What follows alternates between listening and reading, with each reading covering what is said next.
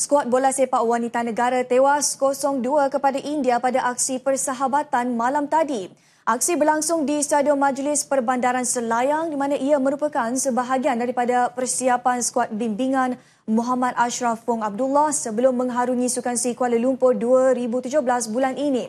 Pada aksi malam tadi, babak pertama berlalu tanpa jaringan dan selepas rehat, India mempamer aksi lebih kemas dengan menyumbat dua gol di penghujung babak. Kedua-dua menerusi Piari Zaza pada minit ke-76 dan 86.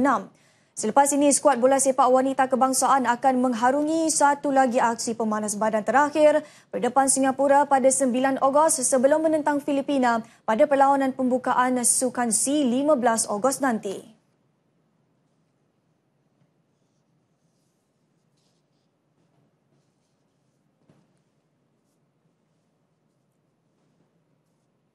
Kerana mereka apa uh, menentang satu pasukan yang seakan-akan Myanmar kekuatannya.